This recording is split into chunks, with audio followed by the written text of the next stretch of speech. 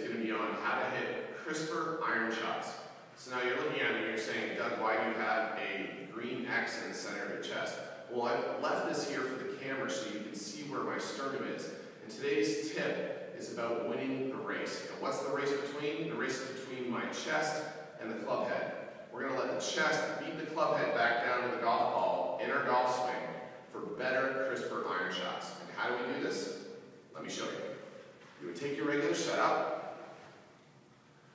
you make a backswing so that your hands, all right, set the golf club in a nice L position and your chest is facing away from the target so your lead arm is parallel to the ground.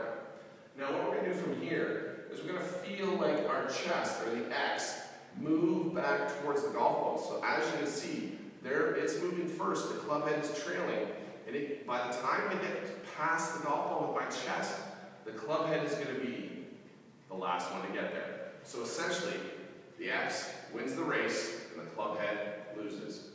What this is going to do, it's going to allow you to hit more crisp iron shots, straighter iron shots, and improve your game. Here at the Focus Golf Group Academy, where we build you a roadmap for better golf. So let's see if we can get this to work. Take my setup, swing it back to waist height. Now, let the X win the race.